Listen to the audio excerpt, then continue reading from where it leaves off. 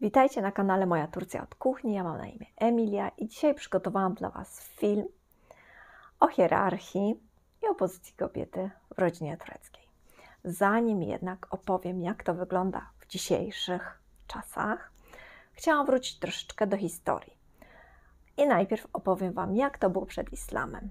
Jaką pozycję w rodzinie, w klanie miała kobieta Przygotowując się do tego filmu, korzystałam z kilku pozycji naukowych. Jedną z nich jest prawo ludowe tureckie. E, tej książ ta książka mówi właśnie o prawie przekazywanym ustnie. Jest to prawo, które obowiązywało przede wszystkim przed islamem.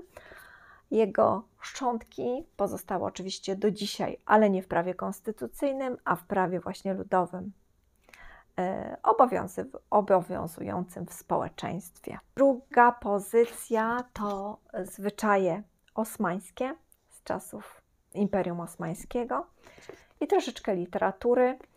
To są historie Dede Korkuta, opowiadania, które są bardzo ważne. To jest bardzo, bardzo ważna pozycja literacka. E, opowiadania z czasów z IX-X wieku, które zostały spisane w XIV-XV wieku. Rękopisy są na tyle ważne, że jeden z rękopisów znajduje się w Bibliotece Watykańskiej. Opowiadania te, co zawierają, przede wszystkim mówią one o kulturze tureckiej, o życiu, o życiu rodzinnym, o życiu klanowym. Także jeśli chcemy poznać historię, kulturę turecką, warto przeczytać te opowiadania. Dede Korkut Hikayery, tak się nazywa ta książka. Czy została wydana w innych językach? Myślę, że po angielsku tak, po polsku wątpię. Nie wiem, czy ktoś ją opracowywał. Turkolodzy, jeśli oglądacie ten film, dajcie znać, czy opowiadania Dede Korkuta są w języku polskim, bo ja ich nie znalazłam. Co do hierarchii w tureckiej rodzinie, wiemy, że obowiązuje w niej patriarchat, czyli głową rodziny jest mężczyzna, to on ma decydujące słowo, to on podejmuje wszystkie decyzje. I w rodzinach wielopokoleniowych najstarszy mężczyzna najczęściej jest dziadek, a w rodzinach jednopokoleniowych ojciec. I tak to wygląda z zewnątrz. A jak to wygląda od strony wewnętrznej, tak? Jeśli wejdziemy do rodziny tureckiej i zaczniemy ją obserwować, wszystkie sytuacje, jakie mają miejsce, to co widzimy, jaki wyłania się nam obraz tureckiej rodziny? Ano taki, że głową kręci szyja, czyli tak naprawdę kobieta. Nie tylko sam mężczyzna, ale kobieta wspólnie z mężczyzną, albo nawet większość może decyzji dotyczących rodziny czy dotyczących domu, kobieta podejmuje sama. Skąd to się bierze? Bo przecież wiemy, że kobieta w islamie raczej nie podejmuje decyzji. Jej słowo, a raczej słowo mężczyzny jest równoważne słowu dwóch kobiet, tak? Dlatego skąd się wzięła taka moc, taka siła e, tureckich kobiet? Ano właśnie z prawa ludowego, z prawa, które obowiązywało przed islamem. Jaką miała pozycję kobieta przed islamem? Korzystając z tej książki, dowiedziałam się, że w tureckim prawie ludowym nie, nie ma wielożeństwa. Tam mężczyzna może posiadać tylko jedną żonę. Dodatkowo oboje, zarówno mąż, jak i żona, muszą być w podobnym wieku. Nie ma czegoś takiego, że starszy mężczyzna może poślubić bardzo młodą kobietę. Nie. Oprócz tego, jeśli chodzi o decyzje w rodzinie, kobieta również ma swój głos, ma wiele do powiedzenia. Ona również razem z nim podejmuje decyzje. Tutaj mogę Wam podać przykład Seljan Hatun, kobiety, która jest bohat jedną z bohaterek opowiadań Dede Korkuta. E, jaka ona jest? Po pierwsze, jest bardzo oddana rodzinie i mężowi. Musi być mądra, ponieważ bardzo często doradza swemu mężowi i właśnie razem z nim podejmuje decyzje dotyczące różnych zachowań, dotyczących klanu, dotyczących swojej rodziny, dotyczących dzieci. Dodatkowo musi być bardzo odważna. Oprócz tego, że bardzo dobrze jeździ konno, włada mieczem, włada łukiem, w opowiadaniach jest tak, że jej mąż wpada w jakieś tam tarapaty, jest więziony gdzieś tam i ona wraz z pomocnikami męża, wraz z wojskiem jedzie na ratunek mężowi. A więc jest to taka kobieta, która umie działać, podejmować decyzje, jest waleczna, silna, mądra. Taką właśnie Turcy, mm, taka jest właśnie idealna turecka kobieta według tureckiej literatury. Podobny typ kobiety macie w serialu Dirilish Ertuğrul, Odrodzenie Ertuğrul. Ten serial jest, jeśli dobrze pamiętam, jest na YouTubie z polskimi napisami. I tam widzicie model kobiety, która podejmuje decyzję, kiedy mąż wyjeżdża, kiedy męża nie ma.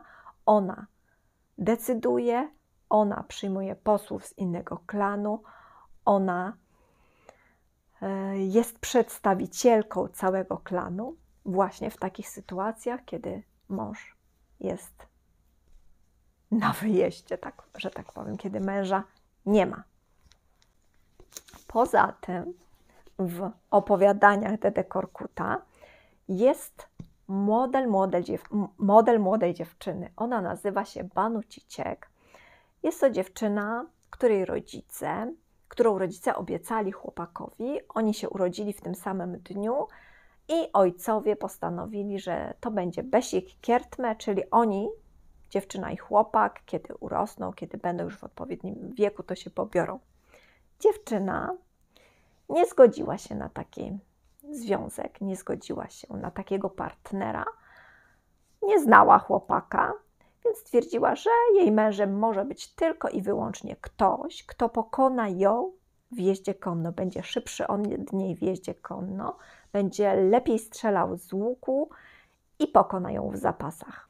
A więc jak widzicie, ostatnie słowo nie należało tak naprawdę do ojca czy matki w przypadku małżeństwa, ale dziewczyna sama musiała zgodzić się na danego partnera. Jeśli się nie zgodziła, mogła postawić jakieś określone warunki, jeśli on je spełnił, wtedy wychodziła za niego za mąż. Jeśli nie, mogła powiedzieć, że nie chce i zrezygnować z małżeństwa. Tak więc widzicie, że kobieta turecka przed islamem, w czasach przed islamem, ma naprawdę bardzo silną pozycję. Doradza mężowi, jest mu równa, podejmuje decyzje za męża, walczy, jest silna, sprytna. I tak naprawdę islam, mogę powiedzieć z całą odpowiedzialnością, to może będzie troszeczkę kontrowersyjne, ale niestety tak jest. Islam degraduje ją trochę. Dlaczego tak jest? Kultura arabska jest zupełnie inną kulturą niż kultura turecka. Arabowie to zupełnie inny naród niż Turcy. Więc oni mają swoją kulturę, swoją historię, a wiecie, że islam narodził się w krajach arabskich. Kobieta w kulturze arabskiej miała zupełnie inną pozycję przed islamem niż kobieta turecka.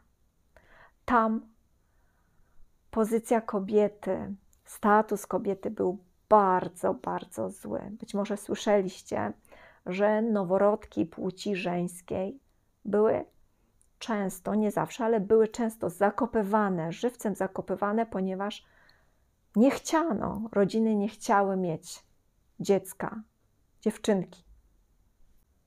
Narodziny dziewczynki wiązały się dla nich z różnymi problemami, więc dziewczynki były niechciane w kulturze arabskiej zupełne przeciwieństwo kultury tureckiej, jak widzicie. I islam, pojawiając się w krajach arabskich, dał kobietom jakieś prawa. Nie były to takie silne prawa, takie mocne prawa jak kobiet tureckich, ale były przynajmniej lepsze niż ich sytuacja się polepszyła. Zakazano y, zakopywania noworodków płci żeńskiej. Kobiety dostały prawa, miały być chronione przede wszystkim przez mężczyzn, ale jak wiemy, tak jak w y, tureckiej kulturze kobiety słowo było równe słowu mężczyzny, tak niestety w krajach arabskich słowo mężczyzny równało się słowu dwóch kobiet. Tak więc pozycja kobiet w kulturze tureckiej i w kulturze arabskiej była zupełnie inna. Więc jeszcze raz powtarzam, że moim zdaniem i zdaniem wielu naukowców, kobieta turecka wraz z nadejściem islamu została, jej pozycja została zdegradowana. Niestety. Jak to wygląda, jak to ma miejsce w czasach osmańskich? Imperium Osmańskim prawo było prawem muzułmańskim, czyli obowiązywał szeriat. Szariat. Obowiązywał w Stambule przede wszystkim, ponieważ tam był e, pałac sułtana, wokół sułtana byli sędziowie muzułmańscy i to oni podejmowali decyzje zupełnie inaczej było w małych miasteczkach i na wsiach, gdzie nadal obowiązywało tureckie prawo ludowe. Czyli tam pozycja kobiety nadal była silna. Wraz z nastaniem republiki, kiedy zmieniło się na nowo prawo i obecnie w Turcji obowiązuje prawo konstytucyjne, ponieważ Turcja jest republiką, prawa kobiet i prawa mężczyzn zostały zrównane. Jak to wygląda jednak w rodzinach tureckich? W zależności od tego, czy to jest rodzina bardziej religijna, czy to jest rodzina bardziej przywiązana do tradycji tureckiej, a może bardziej rodzina zeuropeizowana, sytuacja kobiety się różni. Wiadomo, w rodzinie przywiązanej do religii kobieta ma niższą pozycję. W takich rodzinach decyduje mężczyzna. Może mieć, może, ale nie musi oczywiście mieć więcej niż jedną żonę. I w takich rodzinach słowo decydujące ma mąż. To on decyduje o tym, co się będzie działo z jego żoną, kobietą czy z jego córką.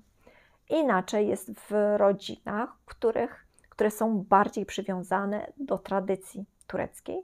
Tam nadal kobieta jest równa mężczyźnie, razem ze swoim mężem podejmuje decyzje to ona nawet można powiedzieć, że rządzi w takim domu. A nawet pomimo obowiązującego patriarchatu, po śmierci męża to właśnie kobieta, żona podejmuje kluczowe decyzje. A teraz pytanie do Was: z jaką turecką rodziną Wy się spotkaliście? Czy bardziej z taką religijną, w której kobieta pełni rolę drugoplanową, jest bardziej pasywna? A może odwrotnie, właśnie z taką, w której to kobieta rządzi, podejmuje decyzje, a mężczyzna jest potulny jak baranek. Bardzo jestem tego ciekawa. Napiszcie w komentarzach. I do zobaczenia w kolejnym filmie. Görüşürüz.